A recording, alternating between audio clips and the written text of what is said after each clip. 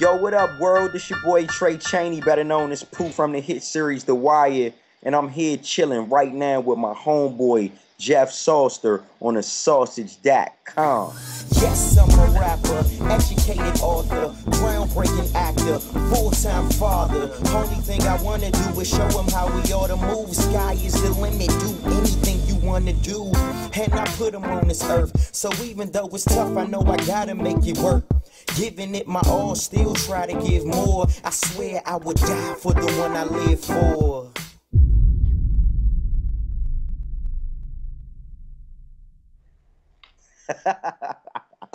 um, well, actually, man, you know, me being the third, you know, in uh, in in Spanish, when you say unos, dos, tres, instead of my parents calling me Trace, they decided to go ahead and call me Tray. So I, you know, I'm I'm like you said, I'm the third. My my dad's a junior and my grandfather's a senior. You know what I'm saying? So where I got the name Tray from, it just stuck. You know, from a since I was born, and and, and that's that's the name. You know that it that, that the whole world goes with. Well, actually, you know, I started off in the business as an R&B and hip hop dancer, and um, a woman by the name of Linda Townsend, who's actually from Clinton, Maryland, one of the areas where I grew up at. She actually discovered me at a talent show that I was doing for like one of the local radio stations out here, and um, you know, when when she discovered me, her she specialized in like getting actors work on TV shows and movies. So she just felt as though since I already had a dancing background that she wanted to submit me like my pictures and my resumes to different casting agencies to consider me for you know acting jobs. So that's how I was kind of like casted for the wire. That was actually my first audition that that I was ever submitted for. You know, an audition for the wire as the character Wee-Bey, but um they didn't see that Wee-Bey had fit my description, so they just went on and casted me for the character Pooh. And um yeah, man, it was just a great experience.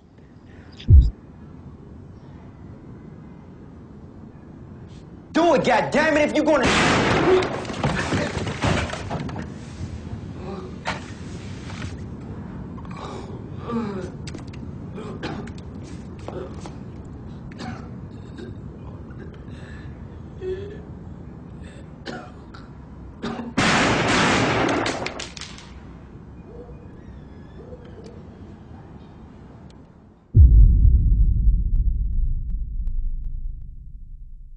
Well, after the wire, man, I was just, you know, constantly on my grind. You know, um, I, I did understand that after the show, it, it was it, it meant that I, I I didn't have a, a acting gig at the time.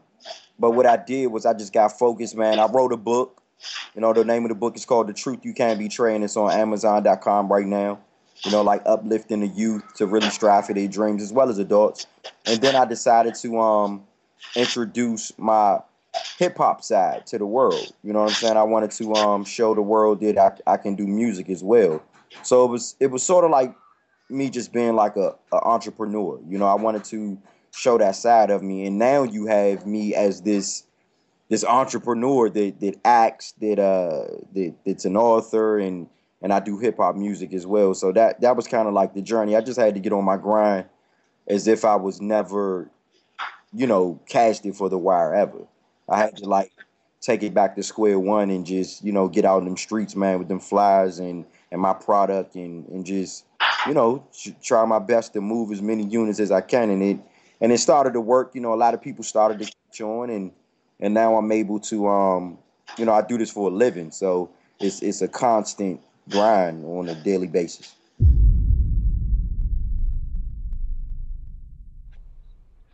Fatherhood is, um, you know, it's definitely a record uh, stressing the importance of fathers being in their kids' life, you know, because the kids, they definitely are the future. And um, the way that that came about was me and my good buddy Lamar Tyler, who actually directed the video. And big shout outs to Don Cox, who produced it. That's my company, Fire Drop Music.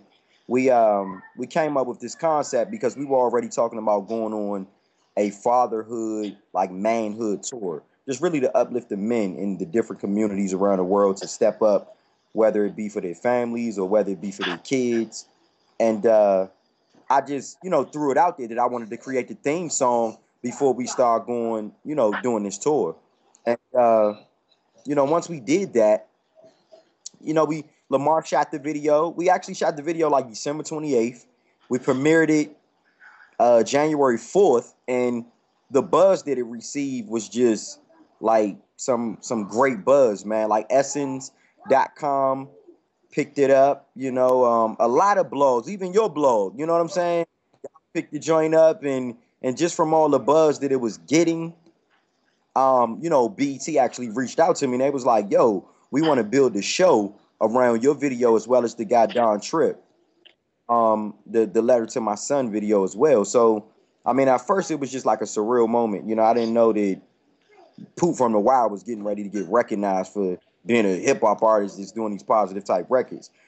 Well, um, like I said, man, I, I think it was just the people that that wanted to see that type of positivity on big screen. So uh, that's how it came about. And right now, man, we we pushing like almost thirteen thousand hits, and the the video has like legs of its own.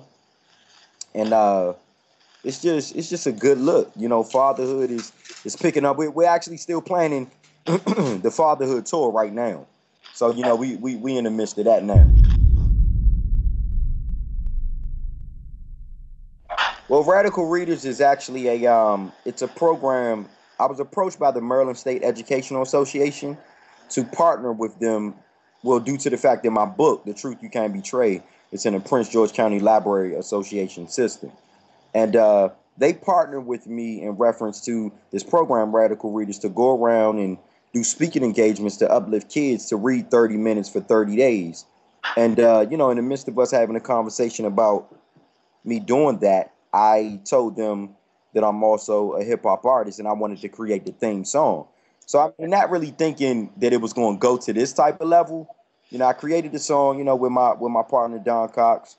We produced this record and um man, when we premiered it for the Maryland State Education Association, they really were like, you know, this is the one, this is it, this is going to uplift the kids. And what made it so special was when it came time to do the video, I wanted to use my same crew. I wanted to use the same formula. So I called um, Lamar Tyler, and he was he was kind of skeptical at first because you know, I mean, we had success with fatherhood, but you know, the people wanted to know what the follow up was going to be to fatherhood. It's kind of hard when you when you come back with a, another single, and and it's on the same lines of being positive. So radical readers, you know, when he heard the beat, he was like, "Man, we got the perfect, you know, we got the perfect treatment and concept for this video," and and that's how I came about. What made it so special, I shot it at my middle school that I had graduated from in '95, Andrew Jackson Academy, and um, you know, we shot the video on President's Day, uh, February 20th. The superintendent from uh, PG County. He approved it for us to shoot the video on the kids with, you know, on the day where the kids were off out of school. And um, we premiered the video February 27th. And man, it's popping up everywhere. You know what I'm saying? It's it's popping up all over the sites. We kicked off the Radical Readers Tour today at Spalding Branch Library. And um, it was a major thing. You know, uh, the county executive, the, the executive the county executive of Prince George County, Rushern Baker, was there to um, you know, just help us kick it off. Angie Ange from 93.9 WKYS. And we um we just had fun, man. You know, we had like a pizza party for the kids and and we just uplifted them on the importance of reading. And uh it's that that's the plan with it. Um I received uh some great advice from man, it's so many different acts. Um I'm trying to just get I'm trying to get one person that I really sat down and I and I really chatted with for a while. I chat I chatted with Will Smith at the premiere of um Streets, the movie that's coming out this summer that I'm starring in with Meek Mills and uh, Gillie the Kid and Emilio Sparks and this was back in July of 2011, and it was at the Charlie Mack uh, Celebrity Peace Weekend. And um, Will Smith, you know, we, we had a chance to, you know, sit down and chat, and he was just like, whatever you do in this business, just keep on pursuing your dream and, and continuing to, you know, really do this as if, you you never had a shot. Like like you only get one shot. That, that's that's really a true statement, and that was the advice that he gave me. And I and I think, you know, since running with that, I, I always do any project that I take on. I kind of like do it as if it's like my last chance, and you know, the the biggest entertainer or the biggest biggest executive in the world is going to see it. So I just give it a whole 150 percent, and and that was like sort of like like the advice that he gave to me.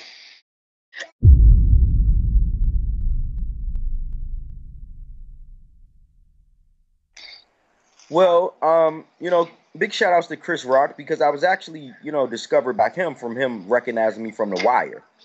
And um, you know, he gave me that cameo role in his uh in his film Head of State. And, you know, I had the chance of meeting Bernie Mac and it, it was just a good experience. I mean, you know, when you're around legends like that, you like you just gotta sit there as if you were a sponge and soak all that stuff up. Because I mean, these guys that, that's been in the business for a long time, they can really some of their work ethics can rub off on you. So, and I think that's what happens with me anytime I'm around major stars or major celebrities on that caliber.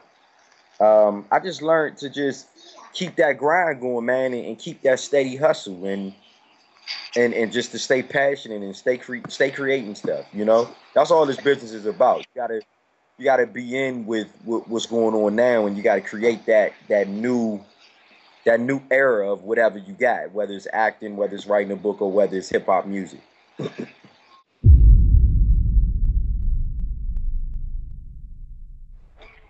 wow. Um, I got the movie Streets coming out. Uh, you can expect two tours. It's, it's kind of crazy. Uh, Fatherhood, we're putting a tour together for that right now, and we're putting a Radical Readers tour together.